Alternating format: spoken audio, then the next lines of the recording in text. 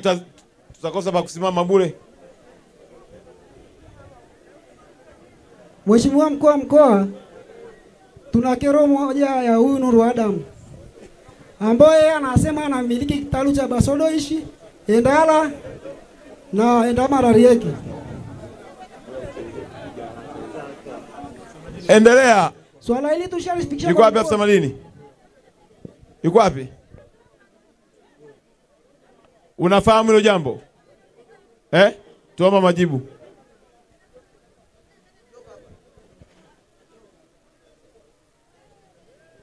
Asante Mheshimiwa mkuu wa mkoa. Kwa majina naitwa Innocent Nicholas Marema, mimi ni mkaguzi msaidizi wa madini hapa wilayani Karatu. Uh, swala hili nadhani ni watu kutokujua tu utaratibu Mheshimiwa. Sheria ya madini imeelekeza kwa maeneo yote ambayo shughuli zote za uchimbaji wa madini zinafanyika ni lazima itozwe mrabaha na ada ya ukaguzi mheshimiwa. Nadhani ndilo swala ambalo wanajaribu labda madereva kuwasilisha kwako. Kwa hiyo kwa maelezo hayo tutakuwa tumeelewa. Ndio, uh, mheshimiwa mkuu Eh, wa eh, mkoa. yaani wewe umesema tatizo ni uelewa. Hayo maelezo uliotoa ndo tumeelewa sasa. Mheshimiwa mkuu wa mkoa, hili swala tumeshaelekeza madereva wote, na mimi huwa napita kwenye hivyo vituo vya wanapokata hizo risiti za madini, kuwaelekeza ni kwa namna gani sheria inaelekeza ili wa, wanapokata zile risiti wale madereva wao wanaelewa, na hizi risiti naziona ziko hapa mheshimiwa. Hebu wape microphone kwa sababu unaona hata bado wewe mwenyewe hatukuelewi. Yaani umevaa suti afu ueleweki. Mheshimiwa Mheshimiwa Samani, tunalipa ushuru nne. Tuna ushuru wa kijiji shilingi elfu tano. Sasa naomba nikukabidhi. Tuna ushuru wa halmashauri shilingi elfu tatu. Tuna ushuru wa mtu mmoja anaitwa Nuru wa Damu shilingi elfu tano. Tuna ushuru ingine ambaye hatuielewi ambaye ameandika laki moja na ishirini na tano ambaye hatuelewi anatuuzia au ni mmiliki, hatuelewi. Sasa ndio yetu tulitaka kuhoji kwamba huyu mtu ni nani, ndio kero yetu kubwa. Kwa hiyo tulilalamika, hii hapa, naomba mkabisi. Sasa hii ya kijiji zote hizo hapo, sasa ambayo tumeshalalamika mpaka Kwa kuna ushuru wa kijiji? elfu tano. Alafu kuna ushuru wa Nuru? Nuru Adamu. Adamu ambaye ni nani yeye? hatumjui sisi, ambayo tunaambiwa ndo mmiliki wa kitalu, alafu tunaambiwa kuna ushuru mwingine, Alafu kuna ushuru wa? kuna ushuru mwingine. Anajiita miliki, miliki wa eneo Ehe. ambaye anachaji shilingi elfu mbili. Maanake tukipakia mchanga pamoja na kupakia na, na ile ushuru inakuwa elfu kumi na mbili. Tukija barabarani tunakuja tunakuja kuunganisha elfu kumi na tisa. Haya, ushuru tunaolipa. hebu tupa majibu. Mheshimiwa mwenye Mheshimiwa mkuu wa mkoa, naomba kutoa ufafanuzi kwenye hii risiti ya ya madini ambayo ndo naona wanalalamikia sana. Hii risiti ya madini mheshimiwa, kama wanavyosema imekatiwa hapa ni shilingi laki moja. Sisi tunakata risiti kulingana na bei elekezi.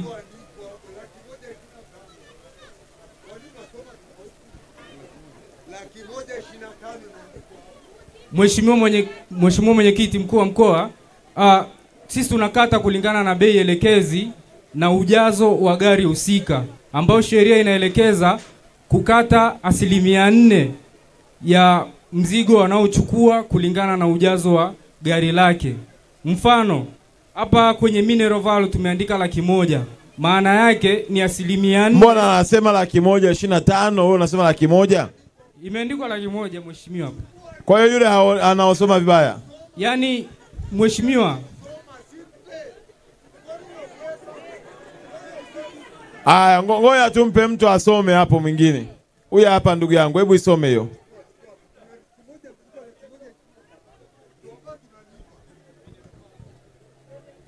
Mheshimiwa mkuu wa mkoa, hizi risiti zinaonyesha kwamba malipo yaliyolipwa hapa mineral value ni shilingi laki moja kwa quantity ya 4 cubic meters, alafu risiti ya pili inasema ni shilingi ni shilingi elfu tano. Alafu Mheshimiwa mkuu wa mkoa, risiti ya tatu ni malipo ya risiti ya shilingi elfu tano nayo, lakini hizi risiti ziko kwenye mfumo tu wa risiti za EFD, hazielezei kwamba hiyo kodi au hiyo tozo ni tozo ya kitu gani. Alafu kuna stakabadhi ya vijiji. Halmashauri ya wilaya ya Karatu inaeleza ya kwamba kasma ushuru wa mchanga nimepokea kutoka kwa lori namba hiyo shilingi elfu tano kwa ajili ya ushuru wa mchanga. Kwa hiyo kifupi hapa, mkuu wa mkoa, kunakuwa kuna duplicity of the charges. Naomba msimame kidogo, bendera na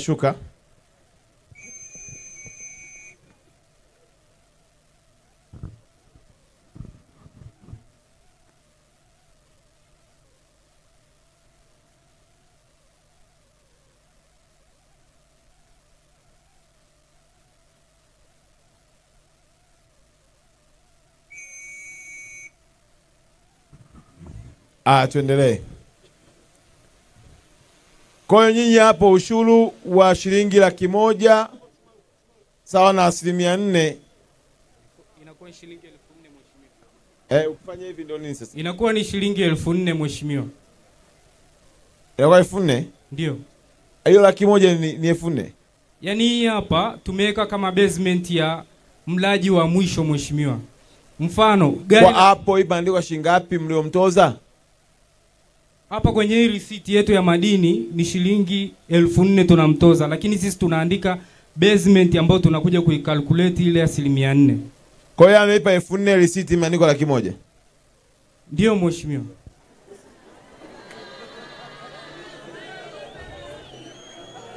Mheshimiwa, hizi tunachaji kulingana na kulingana na basement na bei elekezi ambayo imepangwa ofisini. wewe hiyo basement ndio nini? Unajua basement maana yake? Unajua tafasiri ya neno basement? Eh?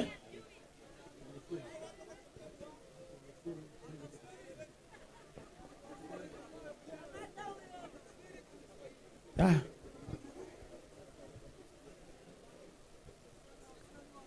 Aya bana, naomba jambo moja. Alafu unajua ya mambo bana, yaani wananchi bana, unakamliwa mpaka una unanyoka. Yaani ukigeuka hii kijiji ushuru, ukinyanyuka hivi kuna watu wa madini, ukinyanyuka kuna basement, ukinyanyuka kuna nuru. Huyo nuru ni nani? Mheshimiwa mkuu wa mkoa, Nuru ni nani? huyo ni mwenye leseni aliyekatia leseni yale maeneo kwa ajili ya uchimbaji. Kona yeye ana hela yake anachukua. Ndiyo mheshimiwa, ambao ndio hiyo shilingi elfu tano amekatia kwenye risiti. Sasa kama nyinyi Nuru anawalipa nyinyi, Kuna malipo ya mwaka ya kulipia zile leseni mheshimiwa, lakini kwa Nuru anawalipa, alafu na wananchi wanaoenda kuchukua kila siku na wenyewe wanawalipa, ndio yule ni na kama- kijiji wanakilipa, na halmashauri wa- eh? Ndiyo mheshimiwa, yule analipa kila baada ya mwisho wa mwezi, huwa tunatengenezewa control number kulingana na risiti alizozikata kwenye post machine. Sasa kama Nuru anawalipa, kwa nini nyinyi mnaenda kuwachukulia tena? Hapana, sisi watu wachukulii, yule ni wakala wetu wa kukusanya ushuru mheshimiwa. Ah, kwa hiyo Nuru anachukua za kwenu. Ndiyo Ah, twende taratibu. Soma risiti ya kwanza ya nani? Mining Commission, Ndio nani huyo Mining Commission? tume ya madini. Ambao ndio nani? Wewe haupo huko. Ndio nipo huko. Haya, weka pembeni. Sasa wale wako tukukute kwingine. Haya, twende.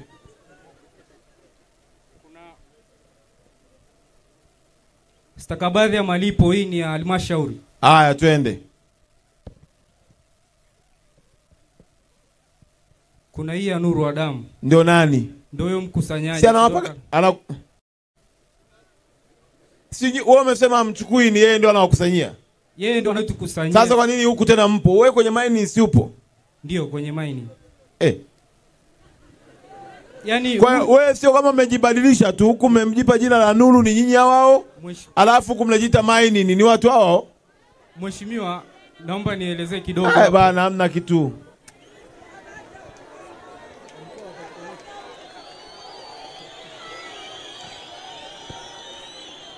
Mmeshatuona wa matipa, mnatutipua tu, huku na jina jingine, huku na jina jingine eh? Afu mwanangu, hii ngoma rahisi sana, umeshindwa kuchomoka tu.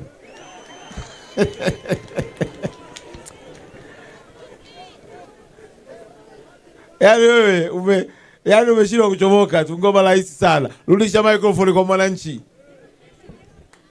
Mheshimiwa, kuna kitu kimoja ambacho amechomekea pakubwa. Ilikuwa mwanzoni tulikuwa nalipa ushuru wa Wizara ya Madini shilingi elfu tatu. Baada marehemu makufuli alivyotoka ikabadilika, ndo huyu bwana akaja akatuletea kitu, kitu kimoja ambacho hizi karatasi ukiziangalia amebadilisha, anasema kibikimita, na wakati kwenye magari yetu matipa kila mwaka tunalipa kibikimita moja shilingi elfu kumi na tano ambayo kibiki, kama gari ya kibikimita nne unalipa shilingi elfu sitini. Sitini. Sasa hawa wamekuja kukubalika, wanasema kibikimita. Sasa sijui waulize vizuri kwamba kuna vitu ambavyo vinafanyia mchanganyikeni. Sasa na sisi kuna vitu ambavyo sijui tutakwenda tutakwenda, sisi tunatii sheria bila shuruti, na ndivyo tulivyo Tanzania. Hiyo kitu tunayo Tanzania wote. Sasa sijui hawa wanatudanganya nini na makaratasi. Sasa ukiangalia karatasi chini kabisa hii ya wizara fulani ina, ina nembo ya TRA, lakini chini hai, imesema haijasajiliwa. Sasa naomba hoji na hiyo kitu. Ehe. Kwa sababu kwanza hizi risiti hizi hizi risiti nazo zina changamoto. Aya, wewe wewe tutafutie majibu. Naomba Karatu, mna maji ya kutosha? Aya, watu wa maji, chukua microphone, tunaomba majibu. Wewe unaenda wapi wewe? Wewe una bado unataka kukaa hapo ujibu. Watu wanaosika na maji hapa. Ah, nenda hapo tuambie kwa nini hatuna maji.